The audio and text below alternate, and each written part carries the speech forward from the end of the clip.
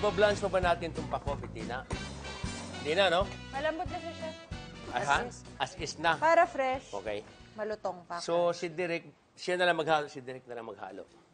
Ng ano po? Ng, Ah, ah, ng ating- salad. Okay. Direk, ano pong favorite nyong kainin, let's say, by the beach or pagka magbabakasyon, summer? Ah, by the beach, syempre, seafoods. Diba? Shrimps, Yes. ihaw. Hugasan ko muna ito, Direk. Tawag nito para lang magkaroon ng decoration yung ating cucumber pag hiniwa mo.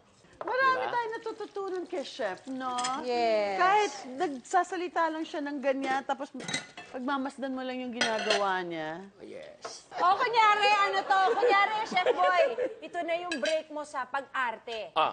Acting workshop to, kunyari. Okay. Ah, Sige. nagluluto siya kunyari. Ganyan, hiwa Ah, ko. sige, sige. Rolling! 5, 4, 3, 2, action! Boy, kailan pa ba tayo kakain ng tanghalian? Anong oras na ngayon?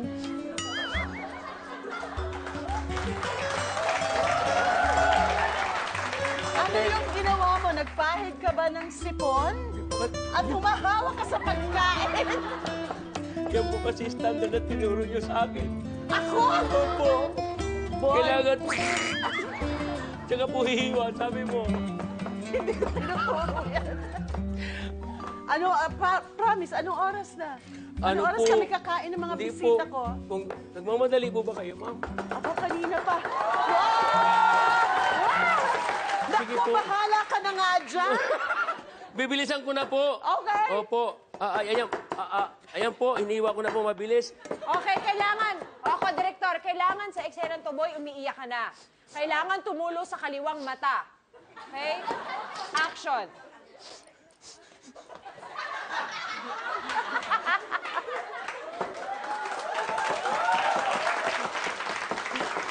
Puro utos, puro utos. Lagi na lang akong inuutusan. Kailan pa ako yayaman?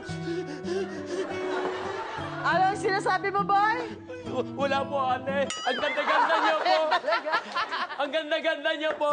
Senyora, boy. Ah, senyora. Senyora. Ay, Hindi ate. Senyora, Yes. ah, opo, ang senyora. Ang ganda-ganda niyo po kasi, senyora. Nahihiya ako pag lumalapit sa inyo para ako nanginginig. Nanginginig ako. Kung nakikita ko kayo, nanginginig po ako. Okay. Huwag na. Cut! Ah, direct, papasaba. Papasa po ba, Derek? Sige na lang. Kailangan natin magluluto. Sige na lang. Anyways, Ikaw na yung ito ha. mapapi. Ihahalo na natin ang ating bagoong. Wow, sarap nito ha. Oo nga. Parang sampalok paste ba yan? Mm. Ang sarap. Teka, parang sampalok paste nga ito. Narito ako ah. Sampalok nga. Tama. Tapos yung konti yung Oo bagoong. Kasi pareho kulay eh. Ako kasi ba nakita kong maitim, ako na yon. Then, lemon juice. You love hot? Mm-hmm. Kunti ko salt lang kasi medyo kunti lang yung ating bagoong. Yan. So, I love my salad like this, Derek.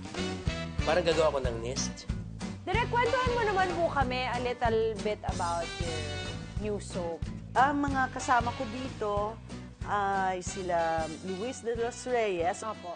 At um, ang kanyang duwende na kaibigan ay si Juancho Trivino. And then kasama din dito si Asunta de Rossi, ang kanyang unang project pagbabalik ng GMA. Wow. Yes. At uh, si Res Cortez kasama din dyan. Res Cortez, yeah. Uh, and then Gabby Eigenman has a um, very important role in the beginning of the soap. Hmm. Galing. Yan, Alright. Nice. Konti na lang to, chef. Yung bringin mo matagal pa. Malapit na rin. Ay, It's almost eh. done. No. Luto na yan bago ko pinatay. okay. Yeah. Maganda ganito, pag sa picnic, of course, ibang nag-iihaw. Asawa mo, katulad niyan, parang siya yung asawa ko. Kung halimbawa lang, siya nag-iihaw, tapos si Silvio, Han, luto na ba yan? Hindi pa! Hindi pa luto! Parang may problema yung asawa mo na ganyan. ako, pag nag-picnic kami sa amin, sa pamilya ko, hindi ako nag naghahanda sa bahay, wala. Sabi ko, ano daanan natin yun ang bilihin. Doon, pumupunta ako sa daungan ng ano, bangka. Oy, ano no, ano ba yan? Oh, isda. Oh, yun ang kainin mo. Hindi mamili ko yung tanigi gusto ko, hindi na, wala na yun. Whatever it is, yun na. Mm, okay. At saka mura pa, pagka nasa probinsya ka bumili ka noon. Oo. Yun ang masarap. Opo. The good thing is, nung bumili ako, nag- meron silang, ano, alam mo yung sea, or, yung, ano, yung sea urchin, yung, yung Yung, um, na- uni. uni. Yun, Yes. yun ang Ooh, gusto ko. At sarap. saka napakamura. Diyos ko, bibigay, parang ibibigay na lang sa yung uni. Yeah. Kasi sa kanila Parang palang 20, 20 pesos, tatlong piraso. mahal. lima. Oo, ganun. ganun. Tapos lagyan mo ng kalamansi. Tapos, Ooh, sarap. Gagano'n lang, no? Ang Sarap. tapos may kalamansi juice with, ah, kalamansi juice lang. Ready, Yeah. ready. Ready? Yeah. Sure? Yes. It's already cooked? Yan, look at it. Wow, luto na nga. Ganda. Ah, okay, para hindi ka mahirapan. Ganito yan, mag-arte-arte mo pa. Pwede naman Diba? pala. Where's, the, where's the toyo konti? Pwede na mag-asawa. Wow, thank you very much for Si trusting Bettina me. or ik- si Bettina pwede na mag-asawa? Ako daw, direct. Pwede na ba, Nay? May go signal mo na ba ako? Ako? Ha, hindi pa muna. Mm, problema lang yung asawa. Ba't mag-asawa ka? Hindi mo na kano-ano, pakainin mo pa. Yung mga kapatid, problema. Huwag ka asawa. Ito na! Ang na dish na isi-serve ngayong gabi. Inihaw na tanigin with pako salad. Kain na na. B1, B2, serve na yan!